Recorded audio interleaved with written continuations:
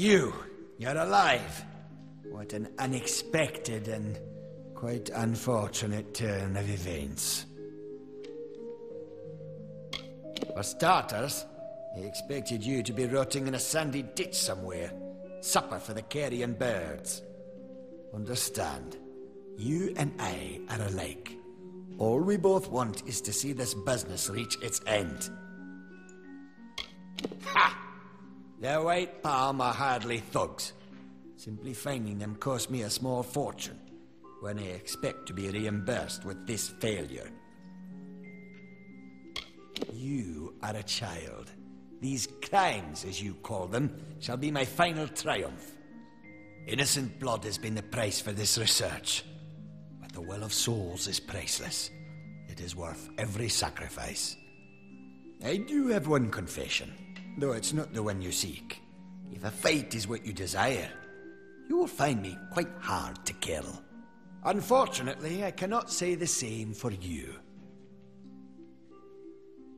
A long career supporting vivification research has left me with certain advantages. You could say I'm more resilient than most of your enemies. I'll admit, I did not see you and Hughes are lying to blackmail me. His conscience was always his biggest liability. Ventrinio will take over research on the well. He has no such weaknesses. Perhaps I'll even give him your corpse to examine. After all, you met your first death as his assistant. It would be a reunion. You're certainly welcome to try.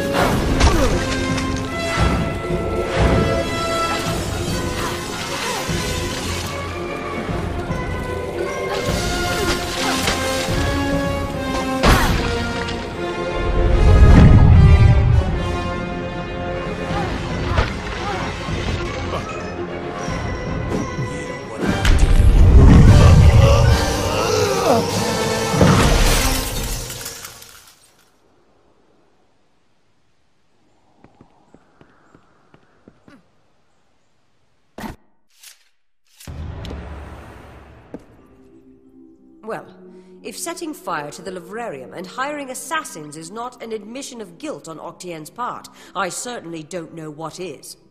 It is clear that we Templars must make him assume responsibility for his actions, overt as well as hidden. Even though you went against my explicit instruction, you were effective. You have my respect. An ugly rendering of the truth. Did we not use each other? You needed Octienne's information, and I needed him stripped of his power. I had to trust that you would do your part, and trust is not something one can always rely on. But I was rewarded for my faith handsomely. Now it's your turn. You have certainly earned it. I'm afraid that's one promise I cannot make.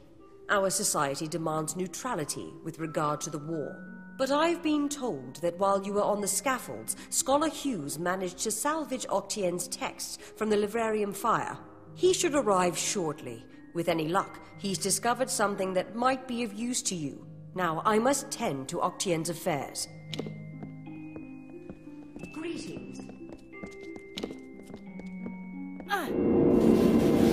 It was my mistake to assume that Octienne would go quietly, or that he would leave evidence behind. Such a waste. Some of those books he burned were centuries old, but luckily for us, I was able to salvage some from the flames. Ah, but you might care about Octienne's personal diary. I found it amongst the various works he sought to destroy, which means it's of value to us. And indeed, it details everything about Ventrinio and his current work. Apparently he's stationed on an island off the coast of Klurikon. True, but this young lady says she has a way to fix that. I'm not sure how you know Ilinshire, but she seems quite eager to speak with you. When you meet Ventrinio, be careful. His genius comes at the price of his sanity. He may want to kill you the second time around for good measure. If he hasn't yet gone completely mad, Ventrinio should be able to get you into Alabastra. Unfortunately, research on the Well of Souls will be put on hold.